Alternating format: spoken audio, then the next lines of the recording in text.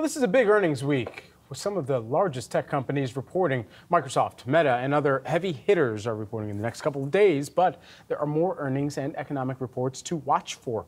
For more on what to watch, Yahoo Finance reporter Josh Schafer is here. All right, we got the logos on the screen. Josh, what are we watching for? Brad, if we are doing an excitement meter, we have reached that part of the quarter, my friend. We've got over 160 S&P 500 companies reporting this week. Lots to break down in terms of markets and what it could mean when we think about these individual reports. You're seeing on your screen here, we've got Meta, we've got Microsoft, we've got Amazon. Lots of big tech names. Going to be curious what we hear about AI, of course. Also, cloud spending in terms of Amazon and Microsoft. Also, going to be interesting to hear from GM and Ford. This will be their first earnings release since that strike started.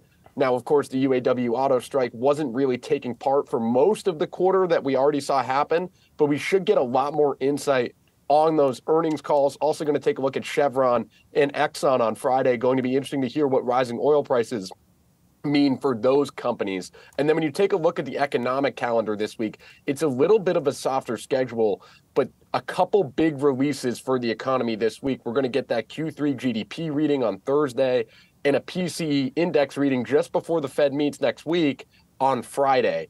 Two key things to watch there. Of course, we're looking for inflation, core inflation to be coming down. It's expected to come down. And the economy supposedly grew, if the estimates are right, at 4.3%, the highest quarterly growth since Q4 of 2022. So we're looking for a big number on Thursday. I don't think that will surprise many people in terms of the hot economy story, but perhaps just another sign of how good that economy really was through the summer.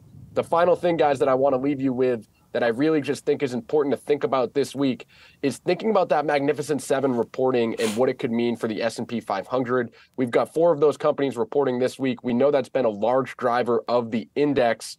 Can that AI story, can tech earnings give a bump to stocks is one thing I'm watching this week. We know it's been all about yields, but could good tech earnings maybe give some upside or downside to the market is one thing I'm going to be watching this week.